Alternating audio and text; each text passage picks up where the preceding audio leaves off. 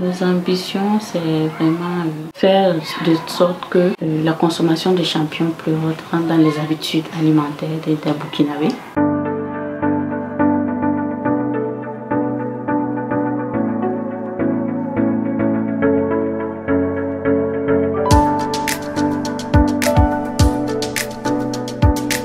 Tout a commencé en 2016 quand je suis de parcourir des articles sur le net et j'ai vu un exemple de réussite dans le domaine de la production de champignons en Côte d'Ivoire. Voilà, c'est cet article-là qui a été un déclic pour moi.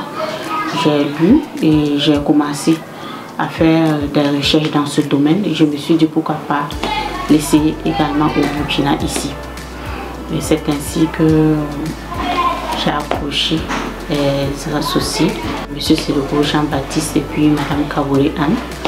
Et ils ont trouvé l'idée vraiment porteuse et ils ont décidé de m'accompagner dans ce domaine, voilà, de faire chemin ensemble.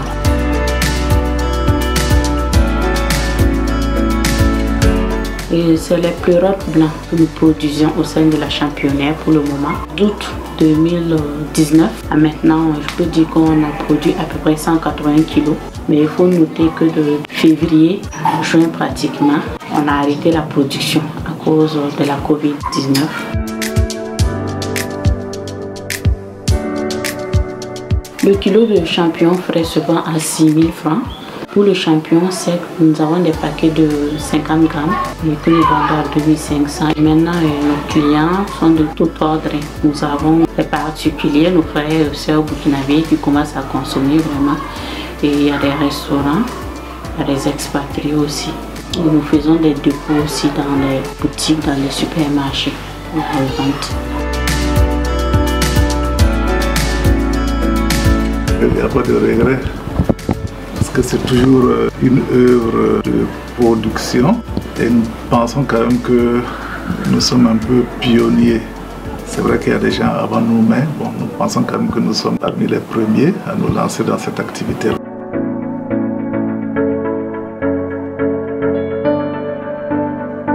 C'est une activité rentable. Je peux dire que si on a un fonds de roulement de 100 000 francs, on peut ressortir avec un chiffre d'affaires de 300 000 francs. Je peux dire que la difficulté majeure que nous rencontrons, c'est le climat. C'est surtout le climat parce que les champignons ont besoin d'un environnement frais et assez humide. Nous savons que nous sommes dans une zone tropicale.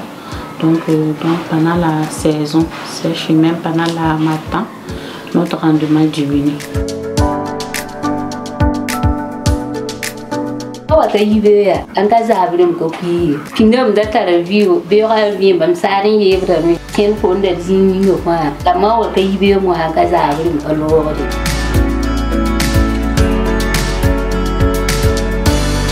Nos ambitions, c'est vraiment faire de sorte que la consommation de champignons pleurotes rentre dans les habitudes alimentaires des Burkinabés. Également, nous prévoyons construire d'autres sites, d'autres champignonnières pour pouvoir augmenter notre capacité.